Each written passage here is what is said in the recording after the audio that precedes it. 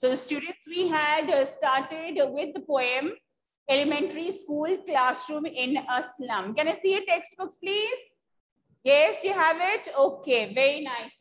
Do you remember what we had discussed yesterday? Do you remember? Yes? What was the first stanza about? What is uh, described in the first uh, stanza? The children in the slum have been described. Yes. Now, what about the appearance? What do they look like? Who are the children that have been described? One is a tall girl and her head is weighed down, right? Because of poverty, because of the problems in her life, right? Which she has to, or the burdens of her life, which she has to bear at such a, or suffer at such a young age, right? Then we have very thin boy, thin as paper, paper seeming boy. What is the device over here? The paper seeming boy. Is it a metaphor? Is it a simile? It's a metaphor. It's a metaphor because the boy is thin, paper thin, right? Not thin like paper. So we have not the use of as or like. So the boy is thin, paper thin. And of course, what about his appearance? What is very striking? One is very thin and the rat's eyes, constantly searching, hungry eyes, searching eyes, right? Yes. Then there is this uh, little boy, right? The stunted, unlucky heir. What does this boy have to show? What does he has to show? Yes, so what he has inherited. What has he inherited? A disease. A disease which has not allowed him to grow properly. His bones are not formed properly, right? And twisted bones, undeveloped bones, right? The, this is about his appearance, okay? Right? And what is he showing? What is he reciting? The father's disease that he has inherited. Has he inherited gold or riches and fame and power and wealth? No. He has inherited poverty. He has inherited disease. Right? Then there is one boy, very sweet boy sitting at the back of the class where the class is dim. Right? And uh, yes, so he does not want to be here. Where does he want to be? Outside. Wants to enjoy the games outside. He wants to play outside. He does not want to come to school. So what have these children been compared to? In the first line, far, far from gusty waves. These children are what? Ruthless weeds right? Weeds which are, you know, like, of course, washed away with the strength of the water. And they are here looking there very, what uh, you can uh, say, helpless, or they don't uh, feel happy over there. They don't belong there. Their appearance also very pale and untidy shows that, yes, and of course, uh, their appearance there, the conditions also, what does it show? Are they motivated to learn? Do you think they're motivated to learn? Are they motivated to learn? No, they're not. So the way they're sitting in the classroom, right? So they, it seems as if they are not very, you know, like, of course, happy about maybe what the classroom has to offer or what education is going to do to their lives. Now let's move to the second stanza. On sour cream walls, donations. First stanza, what had been described? The children had been described. In the second stanza, what is described? The walls of the classroom. If you look at the walls of your classroom, right? We notice, yes, a lot of pictures and charts, and there are these boards which are there. You notice that, yes, they're regularly cleaned and the coat, a fresh coat of uh, paint is given, right? So it's taken care of. Now look at the walls of the classroom, sour cream walls cream. What is the color of cream which you take off uh, from milk? White. And if it is kept for a couple of days, what color does it turn? Palish yellow, right? So what has happened to the color of the wall? It's sour cream. That means the passage of time, the color of the walls has changed. Why has it changed? Because it has never been given a fresh uh, coat of paint for a long time. Okay. So no one is there concerned about the classroom. Okay. Right. So next here we have, yes, on sour cream walls donations. Walls are there, right? Not taken care of. But on the walls, what are they? Donations. Things that people have given to the school, right? What is it? Shakespeare's head. Who's Shakespeare? Uh, yes, very, you're like, of course, uh, a poet, writer, dramatist. So when you talk about English literature, we talk about Shakespeare, isn't it? Right? Shakespeare's head. What is one of the picture? A picture of Shakespeare. What does Shakespeare symbolize? Learning, literature. Yes? Sit properly, please, attentively. Yeah. Cloudless at dawn, civilized dome riding all cities. Another duration. What is there? Cloudless at dawn, clear, beautiful picture of civilized dome. It could be a reference to, what's a dome? What's a dome? It's a spherical structure. And generally, yes, you see the domes on important monuments. Yes. So it seems that these are pictures of important monuments riding all cities. Could be from across the country, across the world. Okay. Then what else is there? Build flowery Tyrolese Valley. Build. So here some say it's a reference to the bells which are there in the church. Build flowery, flowery Tyrolese Valley. So picture of the beautiful Tyrolese Valley. Picture of beautiful places, right? Then we have open-handed map. There's a map on the wall. What does the map show us? What does the map show us? Yes? What does it show us? Places, right? Okay. And yeah, when you look at the map also, you are aware, okay, let's just look at uh, the beautiful places here, the places you can learn about, the places you would like to see, right? Open-handed map. It's been spread out on the wall. Is it clear? Yes. Then we have what is the map showing? Awarding the world its world. It's showing the children their world. Now, just tell me now, what are the things which are there on the wall? And how many of these are significant for the children? How many of these are significant? How many of these have any kind of value uh, for the children? Shakespeare's head, picture of Shakespeare. What do you think it means to these children? Have they come so motivated to learn? What about the beautiful monuments across the world? Do you think they'll ever get out of the slum to visit all these places? Map is there, right? The map, map also showing them the world, right? That see, this is such a big, beautiful world with all these beautiful places. Okay, look at these lines again and again. This is quite uh, what you can see, uh, difficult lines here. Our open-handed map awarding the world its world. Showing the children their world, right? But what about the world of the slum children? Where do you think their world is confined to? Where is their world confined to? To the slum only. Do you think they're going to see all those beautiful places which are on the map? Are they ever going to see all those beautiful monuments?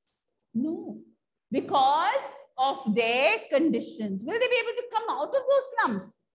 No. And yet for these children, these windows, not the map their world. And for these children, who are these children?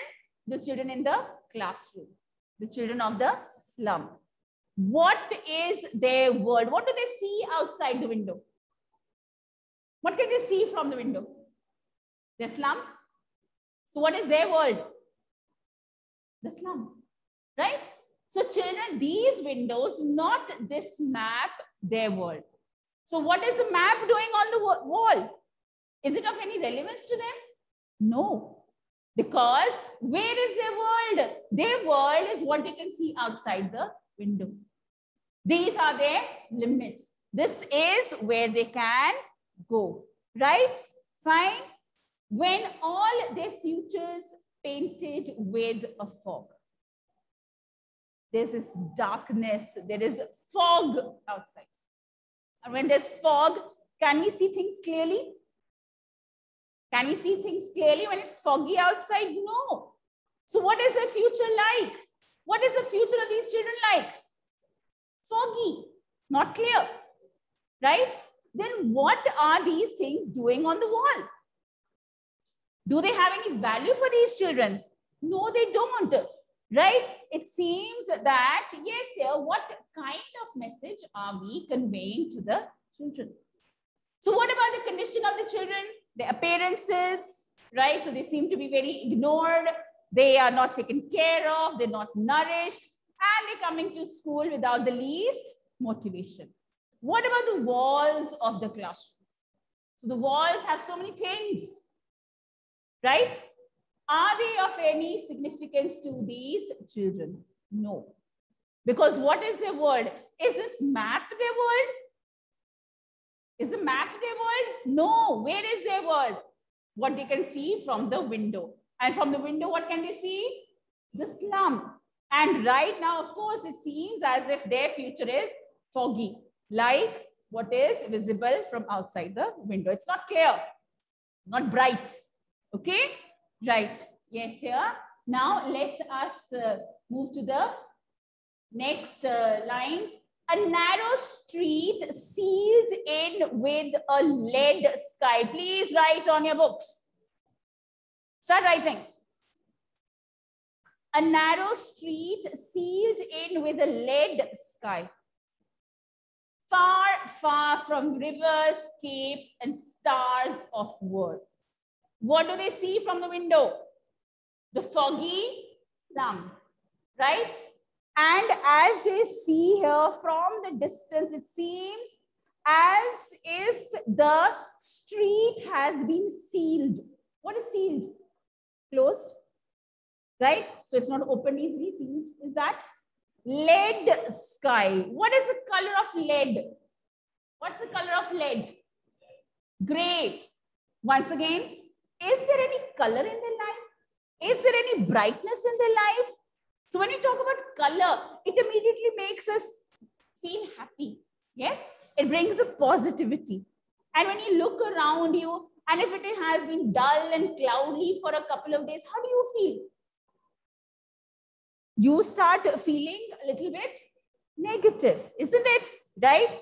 But when the children are there, whenever they look outside the window, what are they going to see? They're going to see the slum, right? They are going to see this dark gray sky. They're going to see this fog, right? So what does it show? That their future appears to be very, very dull. It's not bright. Seems as if there's no chances for them to have a better life, right? So why, why is it so? Why do you think these people here from the slum, they remain confined in the slum only? Why does this happen? Yes? Why does this happen? Yeah, we, we don't give them proper facilities. We don't see that development takes place. And yes, we talk about the inequality what happens in society, right? Okay, now look at the next stanza. This is going to make things even more clearly. Far, far. What is far, far from here? What device is used here? Repetition. Okay. What is used here? It's repetition. Please keep noting down. Surely Shakespeare is wicked. Where is Shakespeare in the classroom? Where is Shakespeare? Shakespeare is on the wall. Yes. Right. Yeah, so where is uh, Shakespeare? Yes, so Shakespeare is on the wall, right? Yeah, there's a picture of Shakespeare.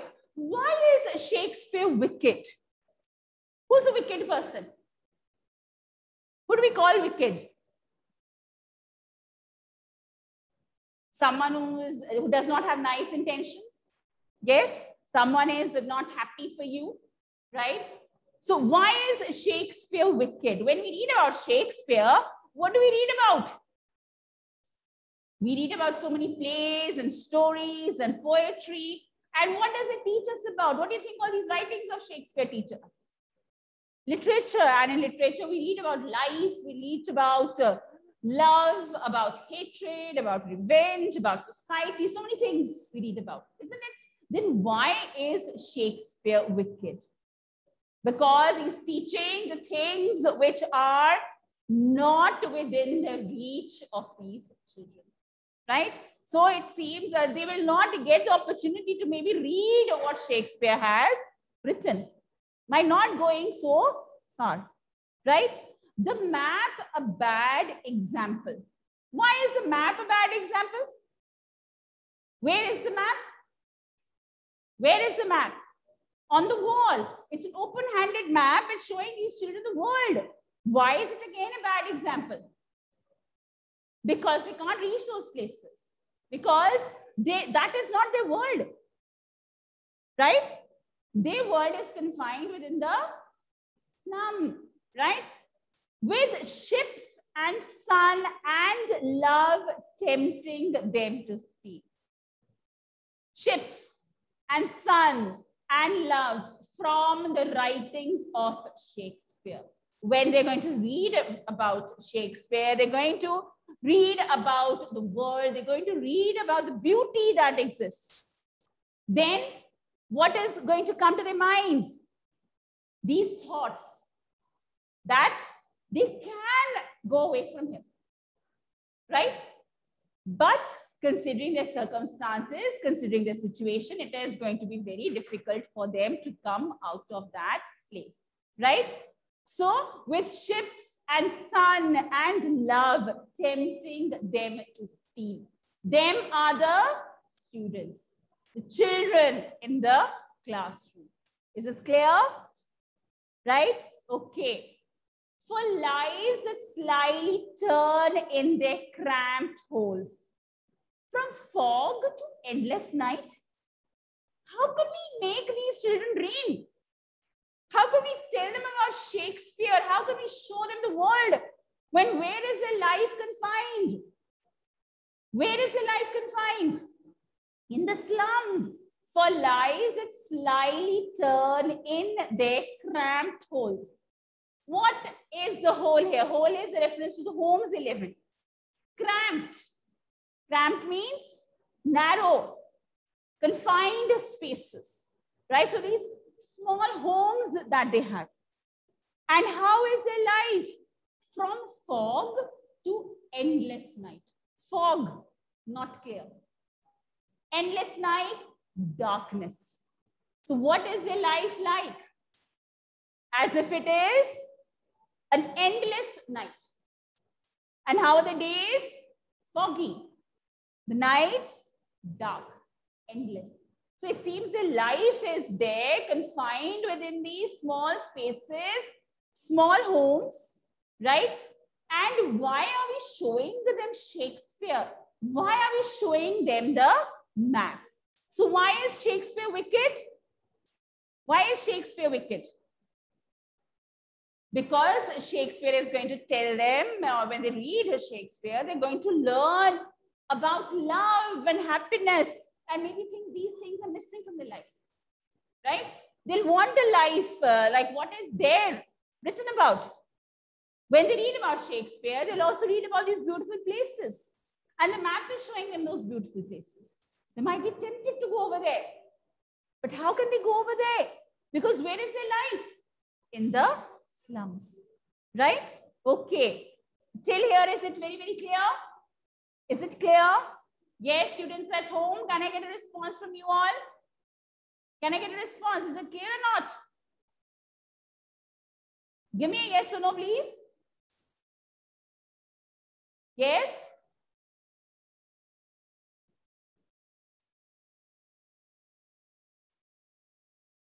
Yeah, okay, right. So my lazy students, please wake up and tell me. Okay, very nice, very nice, good. Okay, right. So let's continue. On their slag heap, these children wear skins peeped through by bones and spectacles of steel with mended glass. Most difficult lines of this poem. Look at these lines again. Look at these lines. Yes, on their slag heap. What is slag? What is slag? It's waste, like when you talk about here, right? Of course, uh, from furnaces and all, right? So what about their existence? What about their lives? What about their appearance on their slag heap? So uh, among, uh, you know, like and, uh, the middle of all these conditions where they live, right? Now, unhygienic conditions, untidy conditions here. These children wear skins wear skins. We all have skin covering our body, but look at the way they are wearing their skin. As we read in the first stanza, we have noticed that they are very unhealthy. They are malnourished, right? They're not properly, you know, like getting good meals. And here, when someone is not getting proper meals, we see the pictures of impoverished children, isn't it? So what about the appearance? It's very thin. And from the skin, what can we see? The bones, right? Because they are so malnourished, right? So here, where skins peeped through by bones. What is peeping through their skins? Yes, so right, so what can we see? The bones there because they're very thin, right? Spectacles of steel with mended glass. Spectacles, spectacles, what you wear, right? For your eyesight also. Spectacle is also a sight. What you can see, that's seen, right? Just like when you break glass with stone. What happens to that glass? Is it clear? Is it smooth? Or it has cracks? Cracks. So when we look around, when we see children who are healthy, so they look very nice and nourished, and the skin also looks very good. And are their bones visible? No. Right? So it seems like from their skin, what is peeping out? The bones. Just like when glass has been broken by stone. Right? Spectacle. What is a spectacle over here? sight, seen. Okay? Is this clear? Clear these lines? And where are these children? Where do we see the sight? In their slums. Okay? Right. Like bottle bits on stone. So Just like you crack, you know, like break that bottle on the stone. Right? What happened? So you see these pieces everywhere. So just like it's just showing that, yes, they have been compared to these broken pieces of glass, right? Because of their unhealthy appearance.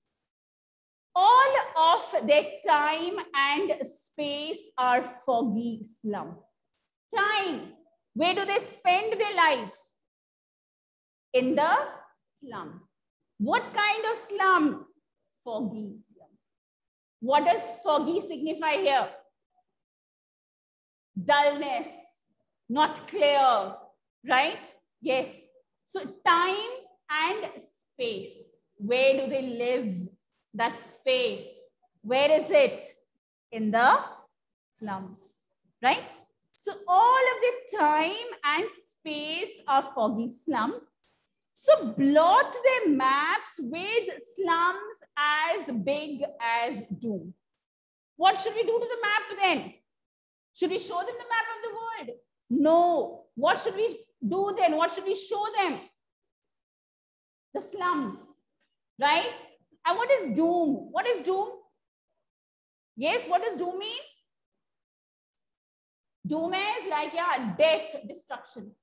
That is where they are going to stay.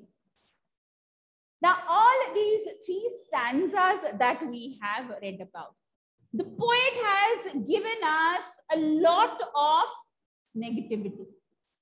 Has he talked about any kind of change, any kind of optimism, any kind of positivity in the lives of these children? What are the colors that we talk about? Gray. What about the sky? Foggy. And what is he saying? What, what should we do to these windows and the maps? Like, of course, block them, don't show them and cover the map, right? So he's talking about what kind of existence do these children have? What about the appearance, right? What about the life? Fog to endless night. Yes, so their lives are there confined to the slum. They cannot come out of it. Why can't they come out of it? Yes? Why can't they come out of, uh, not uh, come out of the slums? They're not brave enough. They're not daring enough. Then,